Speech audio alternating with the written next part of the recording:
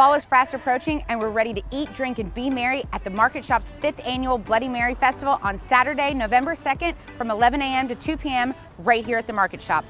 Best part, proceeds benefit Habitat for Humanity of Walton County. Let's go meet Teresa with Habitat to learn more. We're here at Maple Street Biscuit Company with the Executive Director of Habitat for Humanity of Walton County, Teresa. Thanks, Jess. As she mentioned, we are thrilled to be this year's benefactor for the fifth annual Bloody Mary Festival. Habitat brings together local families that live and work right here in Walton County. Our mission is to bring people together to build homes, community, and hope. And I can't think of a better way to do it than over South Walton's best Bloody Marys. I agree. So that afternoon, we have 30 of the area's best restaurants and bars competing for the best Bloody Mary in South Walton cold beers by Grayton Beer Company. We have a bubbly bar. We have everything you can imagine, a hydration station if you want some water.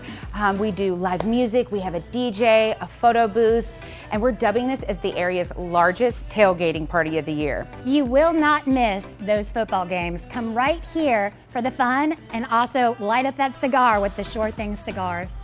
Now let's grab our hard hats, head out to the lawn to show you where all the fun's going to happen.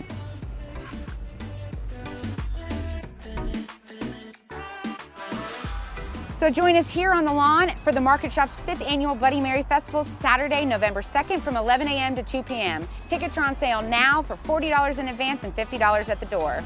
Check us out for more information at www.themarketshops.com. Don't miss out on this great event. It's a bloody good time.